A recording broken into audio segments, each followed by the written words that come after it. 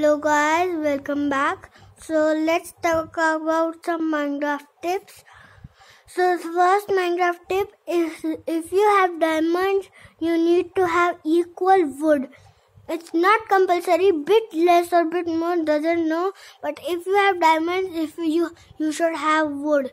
If you don't have wood, means you uh, you are not rich at all.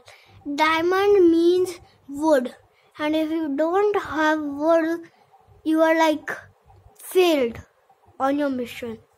Any mission needs wood is the most compulsory thing if you are going on a mine with anything. Okay this one tip is going to help you a lot in your minecraft. And if you don't have it any in or you are in creative the best way is make a reel to the uh, to the uh, forest and there you will can find the most best loot of wood. Okay? So this was our